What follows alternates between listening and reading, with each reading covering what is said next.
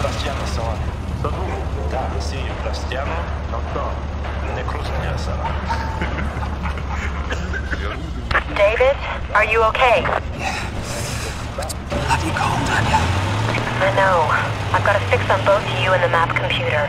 The distress beacon has kicked in. You're in a forward base of a rapid reaction force.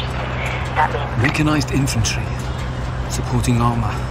Integrated aerial support. I haven't forgotten that much. Sorry. Look, the truck is close to the infantry barracks.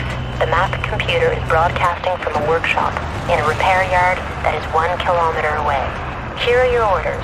Get out of there, David, and find the repair yard. Get yourself to the workshop and retrieve the map computer. I've already sourced the evac. Move it, soldier.